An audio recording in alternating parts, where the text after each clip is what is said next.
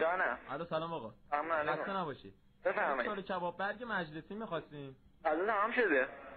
یه دونه با هم گوجه هم اضافه بذاریم پس باشه میشه فقط. غذا تموم شده. فقط سبزیناش اگه خواستین چی.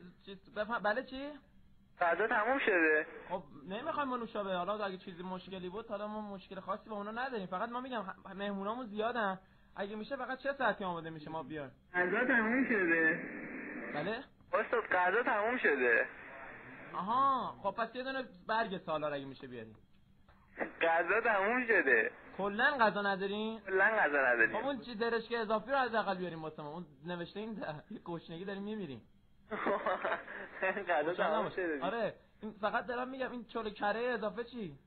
جلو کردم اصلا هیچی نداریم غذا. همه خب همه ما برن دیگه. نه؟ من خب من اونجا برم مکان چی؟ الان اونجا واسه چی وایسادین جانم اونجا الان کی غذا آماده میشه. تمام شد دیگه فقط ما صرف نهار غذا داریم میگم غذا کی آماده میشه؟ فردا صبح ساعت دوازده غذا آماده؟ کله پاچه هم دارین صبح نه جانم میگم کله پاچه هم صبح دارین صبح هم کله پاچه داریم. دست شما درد نکنه. خواهش می‌کنم. پس اگه میشه همون برگ سالار مجلسی رو دیگه الان واسه شوخی نکن بیا دست در نکنه آقا به جان خودم تمام شده غذا.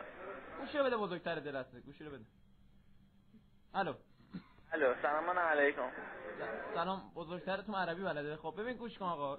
جان خودم غذا تمام شده. آقا ما مشتری تیم ما آقای مسافری هستیم. هم شما دیر تماس گرفتید. از ده- خب شیشلیک بده. الو. الو. قهر کرد چرا؟